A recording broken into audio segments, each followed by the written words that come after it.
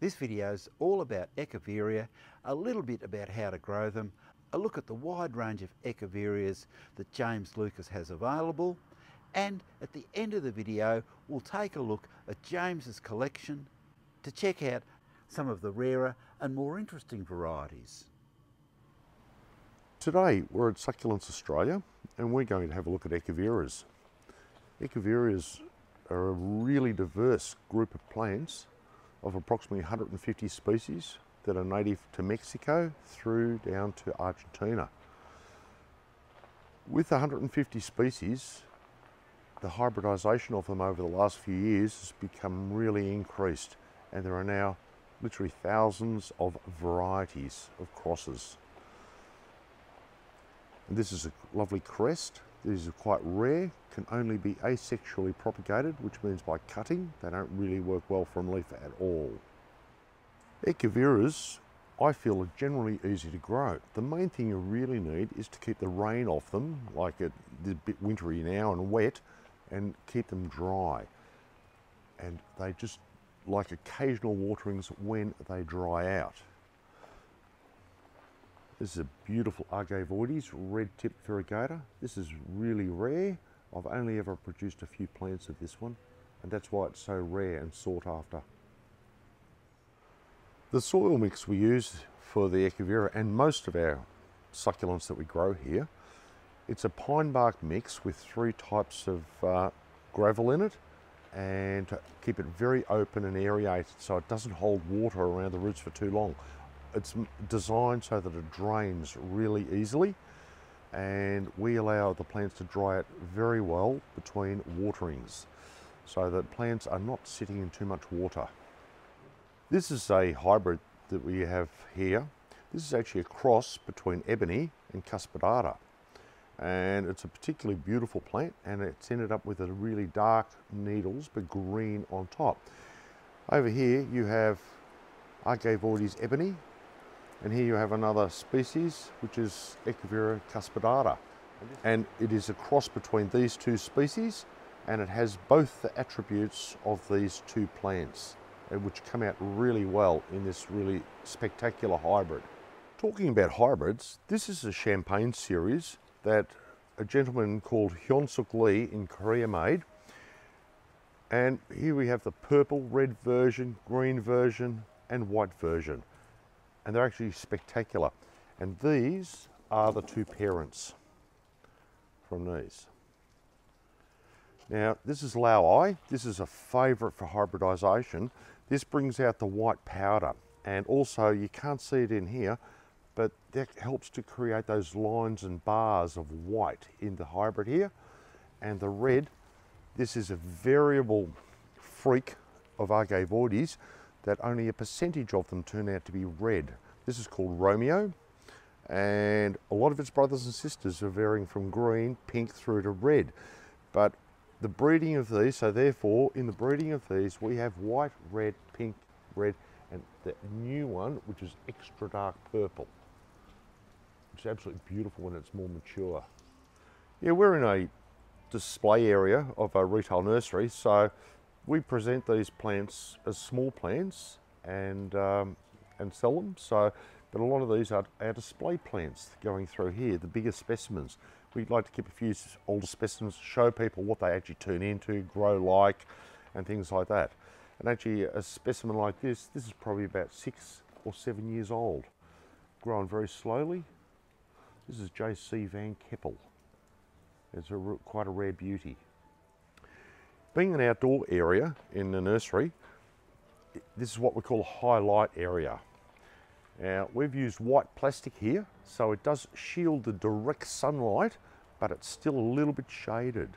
But it's plenty of light, and it's light that brings out the colour in your plants. Look at the red tips on here. You know, it's, it's fresh but brightly coloured. If that was in a shaded glass house, you would not get the red tips. You might get a little bit because of the winter cool, but not really and the reds and colours bring out much more with good light. Now with watering, Echeverias really grow from spring through summer and autumn and they really rest during winter. Now, because they're tropical, they're really like the southern USA, Mexico, down to Argentina, they're subtropical. They're used to six months dry and six months wet. And they can handle the water when they're growing well during the wet season. But they do like the good drainage because a lot of these actually occur on rocky slopes or mountainsides in Mexico. This is a lovely Echevera, a really simple one, but this is called Japanese purple, really large growing. And this is only a small specimen, it can get a lot bigger than this one. So we're going to show you that Echeveras can be from really large, exotic, through to small and compact. And uh, show you a couple more. Here, look, this is one of my favorites. This is a crest. Now, that's really lovely. Good matching pot. You can sort of see how it grows. This specimen is probably six or seven years old. And you could, with crest, they can only be done by cutting. So no leaf cuttings here. You have to wait till they grow, get a cutting. It makes them rare and some people really like collecting crests because they're really different. This is another lovely hybrid.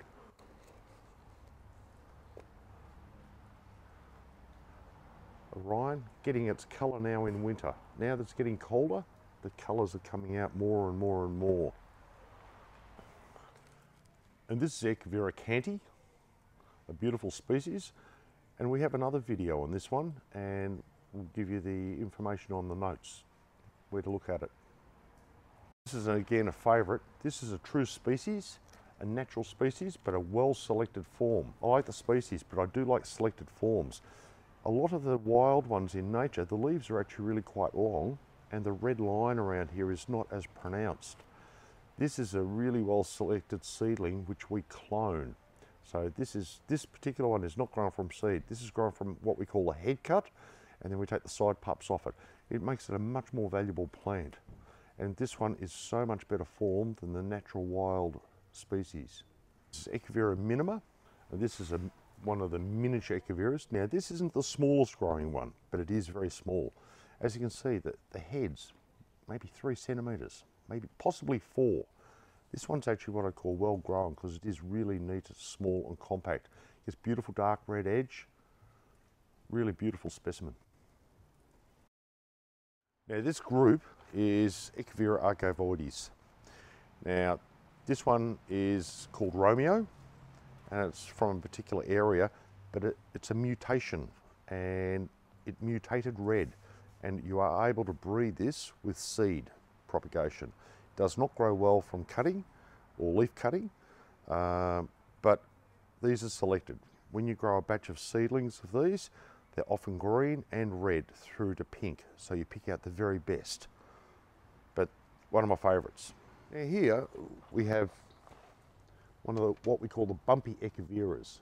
And we've just head cut this one. And they're big heads and in a week or so, these will develop roots underneath. You can see it's already dried off. It's really ready to sit on top of a pot and get going. Now because they're big heads, we also have a bit more and that will root as well. All the bumpies are done with head cuts.